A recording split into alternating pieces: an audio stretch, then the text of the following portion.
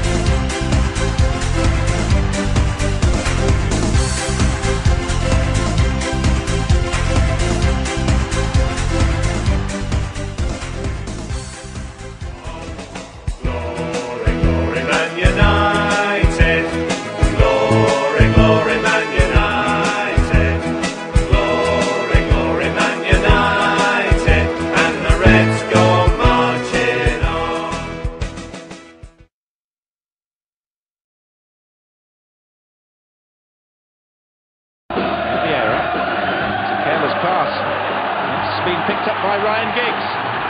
Yorke has made a diagonal run. The support in the centre as well. But this is still Ryan Giggs who's past Keown, past Dixon, and has scored a sensational goal. What a moment for Ryan Giggs.